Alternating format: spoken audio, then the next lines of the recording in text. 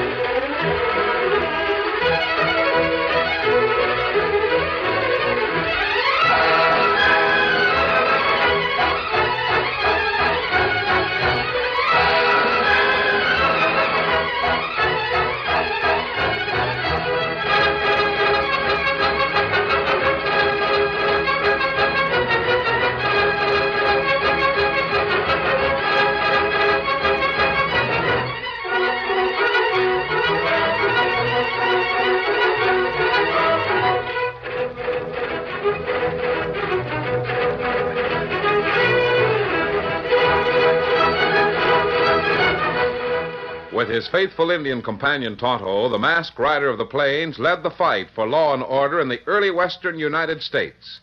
The stories of his strength and courage, his daring and resourcefulness have come down to us through the generations. And nowhere in the pages of history can one find a greater champion of justice. Return with us now to those thrilling days of yesteryear. From out of the past come the thundering hoofbeats of the great horse Silver. The Lone Ranger rides again. Come on, Silver! Faster, boy, faster! I'll Silver! Away!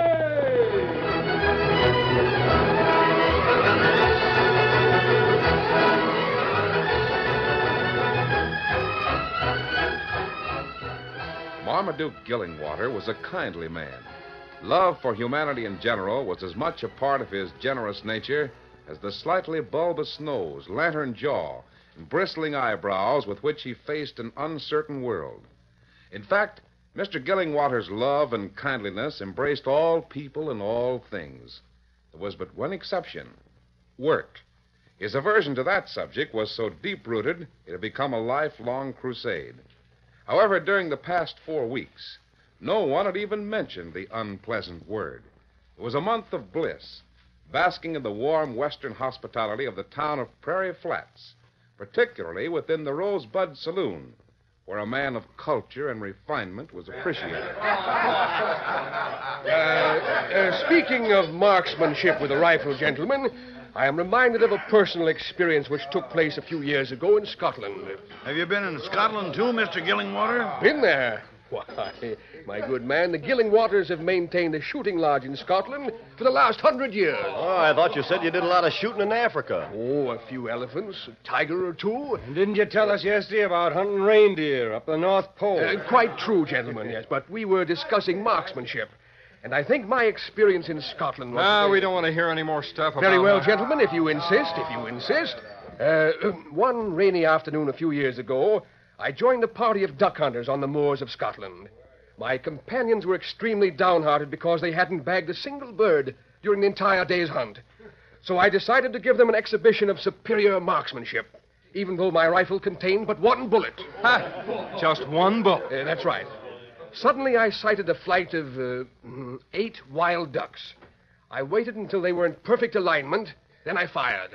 Did you get one? One! I killed all of them. With uh, one shot? Certainly, certainly. All eight birds were flying in a straight line. Oh. But it wasn't until a few moments later that my foresight and marksmanship was proved beyond any doubt. What do you mean? Because I had timed the shot perfectly, the eight dead ducks broke the limb off a large tree as they fell to the ground. And the broken limb crushed the skull of a moose standing beneath the tree. A moose in Scotland. Everything Oh. worked out exactly as I'd planned it. The dying moose kicked a jackrabbit, which flew through the air and landed on my shoulder. Gosh. That forced me to step backward and into a small stream which flowed nearby. Uh, you didn't figure on falling into the creek, did you? Certainly, certainly. When I climbed out of the water a moment later, both of my pockets were full of fish. Oh, yes, they were. That's the gall darndest bunch of. Hey, Marmaduke. Yes, yes. I suppose all of those Scotch friends of yours got together and put up a monument right on the spot. Yeah, like the monument in Siberia, where you found the platinum mine. Or like the big one they built for you in India. What'd you say the name of that one was? The Taj Mahal. Go on. Is there another monument in Scotland? Well, now that you've mentioned it, I believe my Scottish friends did erect a modest shaft of marble or granite to commemorate the event. Yes, yes. This is too much for me. I can't stand no more. Zeke! Oh, Zeke! Yeah, Frank. This is your place. How much longer are you gonna let that old windbag Marmaduke Gillingwater fill it full of hot air? Zeke, we gotta do something. Yep, you're right. I'm in favor of taking the butt end of my gun and uh, I bring know, it- Frank, no. Yeah, we gotta make it legal. Let's go see Sam Porter, the sheriff. Best thing to do is get a pot of tar and some feathers. Yeah, I agree with you. But let's see Sam first. All right, come on.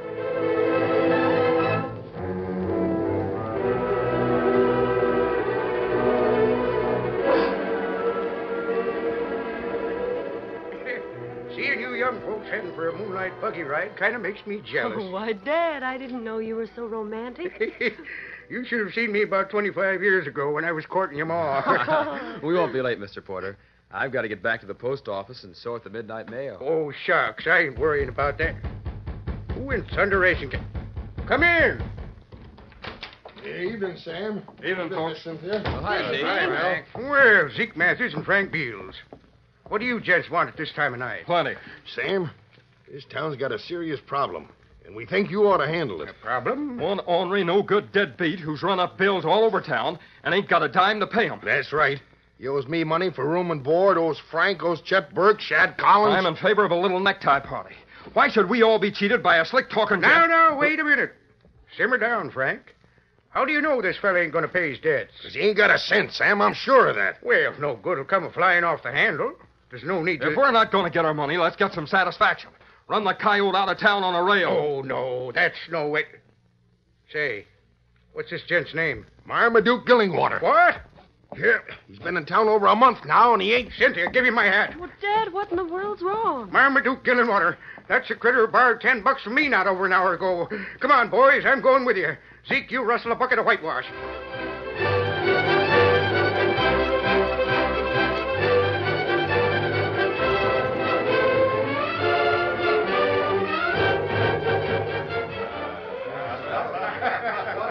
And naturally, the Australians wanted to thank me. So they commissioned an artist to create a life sized statue in bronze. It, uh, it now stands in one of the public squares in Melbourne. right on the. All right, Marmaduke, you've played out your string. The shindig's up. Sir, what's the meaning of this? It means you're sick of listening to your bunk. You owe money to everybody in town. I'll pay up. Either that or you'll be taking a bath in whitewash. You and your big lies about monuments. I'll give you a monument right over on Boot Hill. That right, boy? Now, now, gentlemen, gentlemen, I'll concede I'm justly in debt to all of you, but it's really a small matter, and I bid you be of good cheer. I shall speed a letter to my uh, my bankers in St. Louis this very night. The return stage will bring more than enough cash. Return stage? Yes. It's three weeks' trip from here to St. Louis. Now you tell us the truth, Gillingwater. Are you stone broke? Uh, not broke, Sheriff, merely um, without solvent funds. Well, We're I'll wasting be- time. Let's ride this lion coyote out of town. Are you with me, boys? Here. Come on. I get his hand. Somebody grab his feet. I got him, Frank. No, no, you can't do this. We're doing it. Head for the door, boys. Oh, you'll rue this action. Every last man will rue it. A pox, I say, upon all of you. Somebody get a rail. Where's the whitewash? Yeah, here. Come right up, Frank. We lose a hitch rail. All right, let us down here. Come on.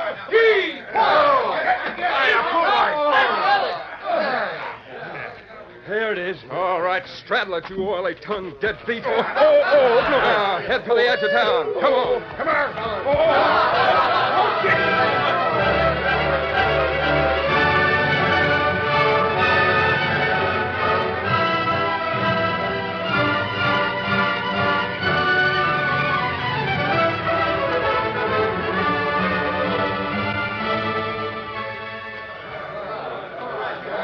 this is as good a place as any.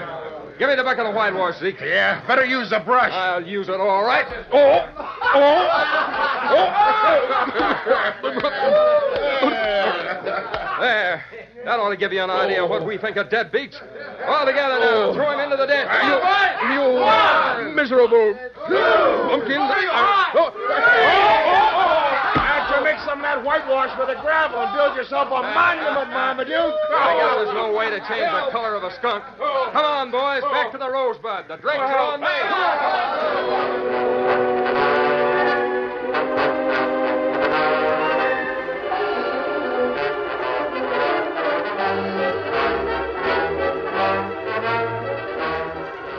Riding toward their trailside camp not far from Prairie Flats, the Lone Ranger and Tonto brought their horses to a sudden halt. Oh, oh, Silver, oh, boy. Oh, oh, Steady, big fella. Easy now. You hear that, Tonto? Ah, Sounds like a large crowd. Some sort of celebration. ah. Maybe white man have big powwow. Call it picnic. No, not at this time of night, Tonto. Especially this far from town. You think maybe... I, uh, I don't know. But I'm curious enough to find out. Steady, big fella. We'll leave the horses here, Tonto, and follow this trail on foot for a while. Ah. Come on.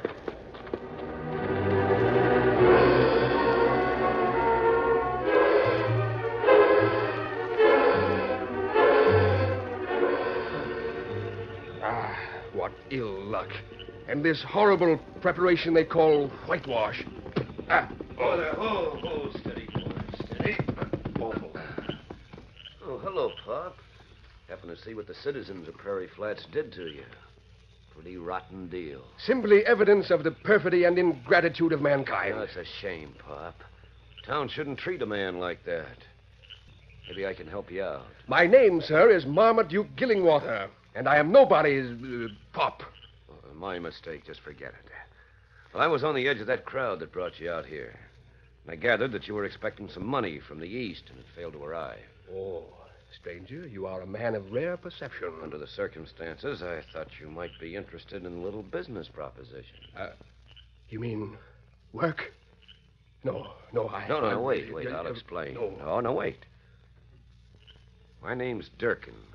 Ace Durkin. I'm the owner of a medicine show camped a few miles the other side of town. Durkin's Consolidated Museum of Wonders. Ah, an imposing title. Well, we've been playing all these western towns around here. But I like to arrive in a new town well recommended by an important citizen. You could do that for me. Oh, uh, not I. My recommendation in Prairie Flats would uh, would hang you. Suppose a stage that arrives from St. Louis in the morning was carrying an envelope full of cash. Addressed to you. By, by the beard of Jupiter. Could you do that? Well, one of my boys could stop the stage, bribe the driver, and see that a letter like that got into the mail. And all you want me to do is recommend your show? That's all. Just give it some class. Smooth over any wrinkles that might come up while we're in Prairie Flats. There'll, uh, there'll be $500 in the envelope. Uh, Mr. Durkin, sir, I shall be happy to lend my assistance. Good. And if you stay right here where they left you, I'll lay odds that some of those yokels will be coming out to look for you the first thing in the morning. I'll return to their miserable hamlets completely vindicated. Sure. And what's more, we can get. Hey, we just spotted an owl hooting an engine headed this way. An owl hoot? How do you know? He's wearing a mask. I figure him and the redskin is No coming fruit over. beating long rider's going to cut in on me. You two hombres are supposed to be gunslingers. Stand back there and stop stop 'em with lead. It's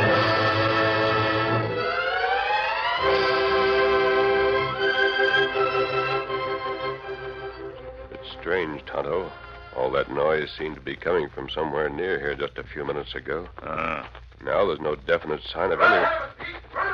The rocks over there. Stay behind them, Tonto. Use your gun. The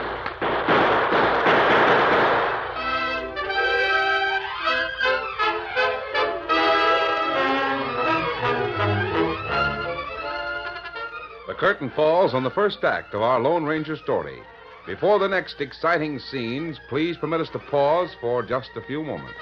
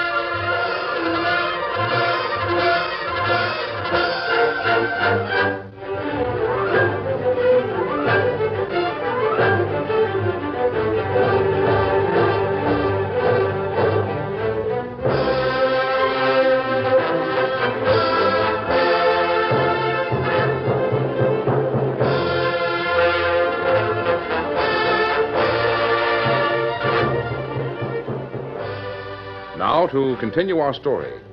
At the first blast from the guns of Ace Durkin's men, the Lone Ranger and Tonto threw themselves behind the only shelter they could find a few low lying rocks. This isn't much protection, Tonto. Those men are on higher ground. Uh, dark make 'em plenty hard to see. There was no reason for them to open fire unless we've stumbled onto a gang of outlaws. Uh, We'll be at their mercy if they climb any higher up that slope. Best thing for us to do is try. If I can only wing one of them, we can make a break, get back to the horses. Ah. Then ride and outflank them. Find out what this is all about. Only trouble is, I'm not having much luck in. oh, my arm! The luck got me right in the arm. That did it. Come on, Tonto. Keep low and run for it. Ah.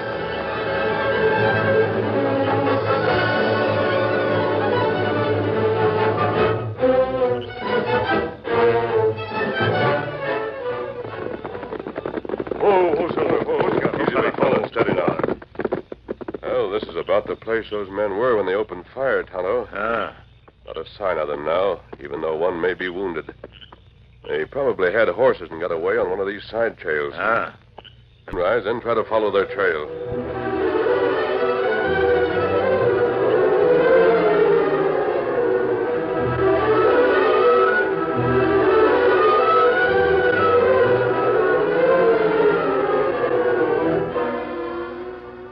Just after sunrise the following morning when Marmaduke Gillingwater was aroused from peaceful slumber.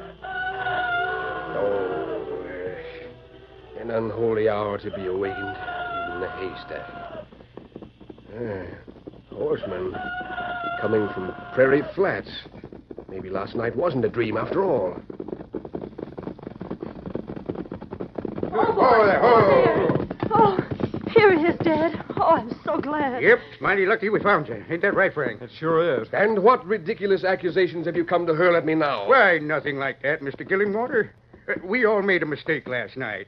Frank and me was appointed to find you and apologize. Very well, I accept your apology. Good day, sir. Oh, what Dad is trying to say is that Mel Rand, he works at the post office, found a letter for you in this morning's mail. It's from Wells Fargo, the bankers in St. Louis. Ah, yes. You see, this letter proves to Prairie Flats that you're not a faker at all. Oh, here, take it. And welcome back to a town that loves you. If you can forgive us.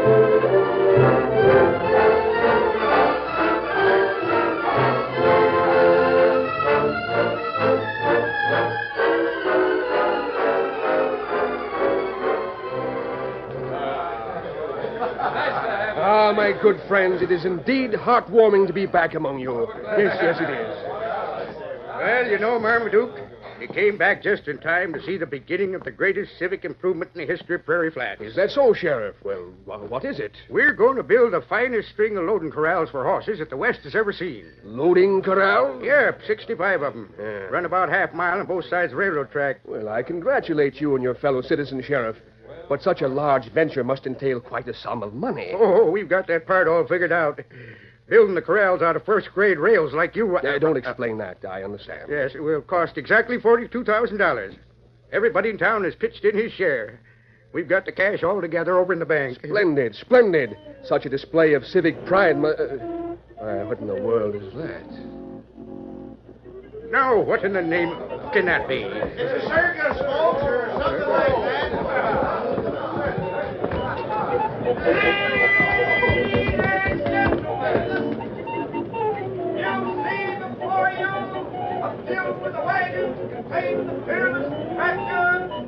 wagons contain the fearless of Durkin's Consolidated Museum of Wonder. Medicine show.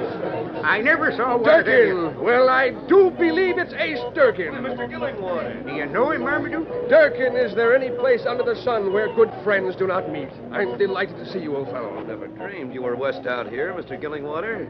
My troop and I are just going through. You must stay here a few days, by all means. Gentlemen, allow me to introduce my good friend, Dr. Durkin. I can assure you that his entertainment is the finest in the land, and his elixir, a boon to suffering mankind. I can't recommend Dr. Durkin too highly. Well, thank you, Mr. Gillingwater. Maybe my company will stay here in Prairie Flats for a few days. Leave! I- Leave! Hey, I've been robbed! Dad, somebody stole Mel's wallet right out of his pocket. Cynthia and I were just standing in the crowd, Sheriff. Somebody bumped against me. That's and I the way with crowds. Another reason why I don't like medicine shows. Well, I'll keep my eyes peeled, son, and you keep the rest of your money at home. Sure. Come on, Cynthia. Yes, I'm beginning to suspect chicanery upon the part of your henchman, Durkin. I didn't bargain for this kind of thing. Shut up. You made a deal and you'll keep it. I. Uh, uh, very well, Dr. Durkin. I'll see you at your showgrounds later in the evening. I'll be looking for you, Gillingwater.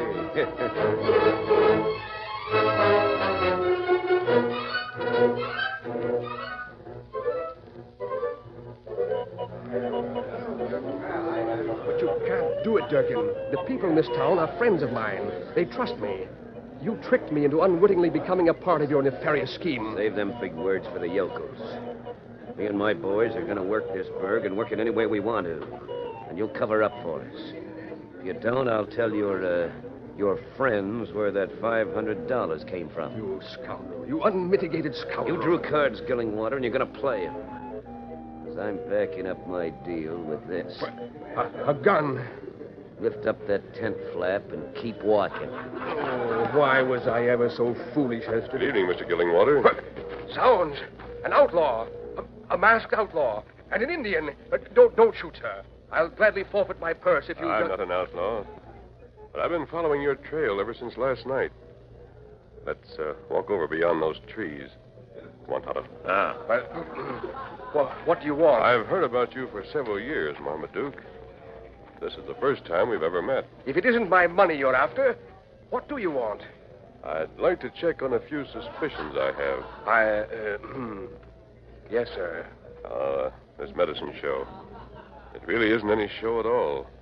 Just a cover up for a gang of pickpockets and robbers. Why, yes, that's true, but I didn't know it until just now. I, I mean, this afternoon. Gangs of this kind generally have something in mind besides picking pockets when they stop in a town this size. You uh, know what it is? No, no, I. Truly, I, I don't. Do you know whether the bank here in Prairie Flats carries much money on deposit? Oh, I'm just visiting here. I, I'm a stranger. Nothing except those new horse corrals they're going to build. What's that? Something Sheriff Porter was telling me. They intend to build numerous horse loading corrals at a cost of $42,000. Each citizen has subscribed money. Hmm. That might be it. Did you mention this to your friend, Mr. Durkin? No, that rascal is no friend of mine. Did you mention it? I, I don't know. Honestly, I don't. Perhaps I may. We can't afford to overlook that chance. Come on, Marmaduke. You and Tonto and I are going to keep a close watch on that bank.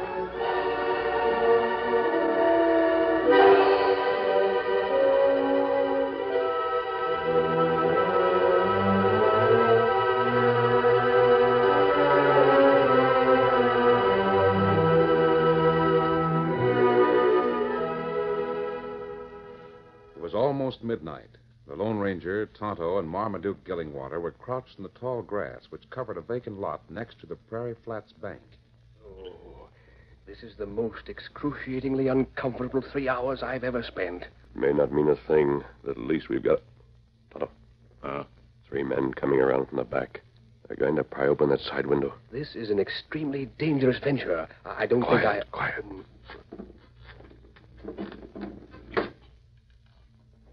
Fella climb in bank window, Kemo Sabe. Yes, I see.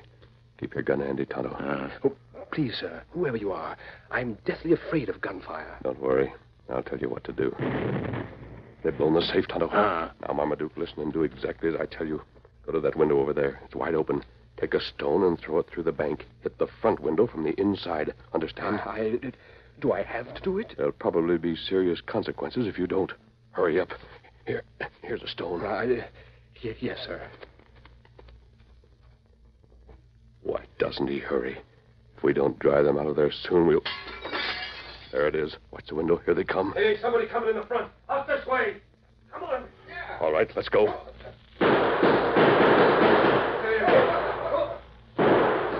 Oh, my leg. Me get other fella. Good. I'll stop these two. And this. Oh, the whole town will be here in a minute.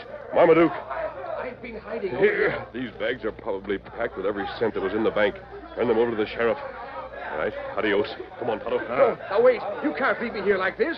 What'll I say? You always do.